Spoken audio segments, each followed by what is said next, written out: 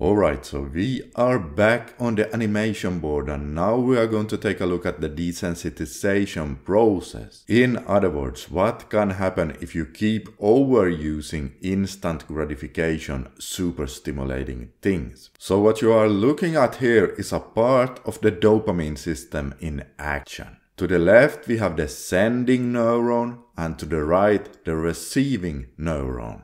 See those small dots there? Well, that is our friend dopamine right there. And dopamine does its magic by attaching to the small dopamine receptors here, the small slots that the dopamine molecules fit perfectly into. And when dopamine has parked into those, it is then we feel the effects of dopamine. Now, what happens if we expose our brain to very stimulating things is that the brain starts going, oh no, now there's too much dopamine here. I need to protect myself from it. And it does so by reducing the number of dopamine receptors, as you can see on the animation eraser right now.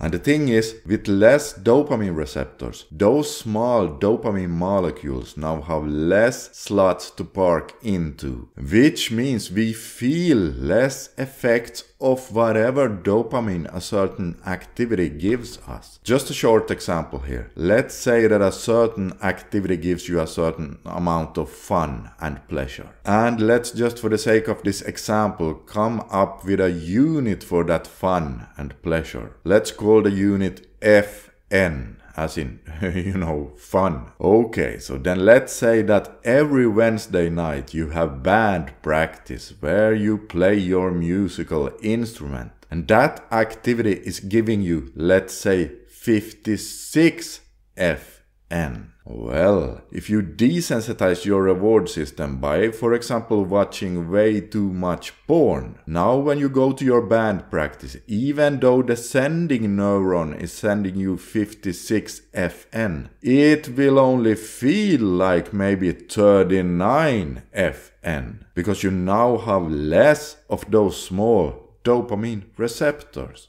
And the scary part here is a receptor is a receptor, meaning this feeling less effects of dopamine is now gonna be true for every single activity you do. Every single activity, not just music or porn or whatever, but every single activity. This is the neurobiological process behind desensitization, also known as getting a numb pleasure response or a disrupted dopamine system.